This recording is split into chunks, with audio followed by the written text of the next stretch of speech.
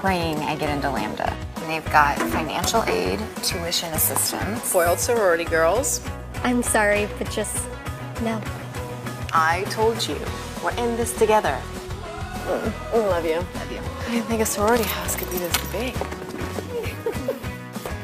Kappa Eta Lambda is her family now, right, girls?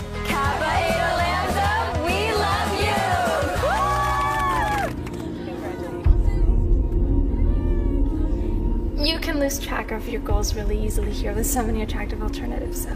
This is Simon Hughes. He's an alum of Omicron. Nice to meet you. Carrie, where are you going? Did you hear about Carrie? No, what happened? She's dead. What? Some people say it wasn't an accident. Carrie did not kill herself. She was murdered. Murdered? She was worried about something much more than grades, something much worse. You look beautiful. Oh, thank you. You're a very passionate young woman. I'm a passionate man, too. You're not safe in a place like this.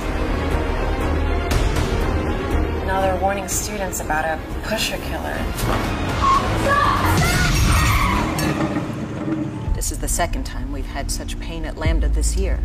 I've spoken to the police, and they want me to reiterate that while these accidents are suspicious, they've yet to draw any conclusions. Promise me you're not going to go out alone at night. Hey, baby.